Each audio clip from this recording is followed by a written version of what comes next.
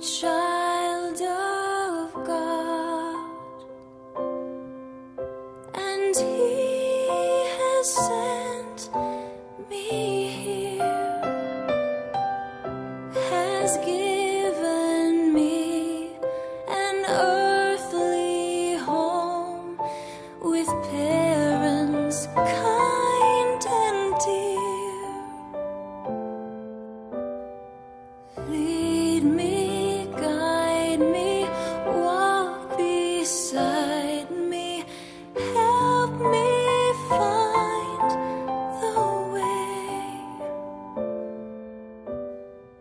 Teach me all that I must do to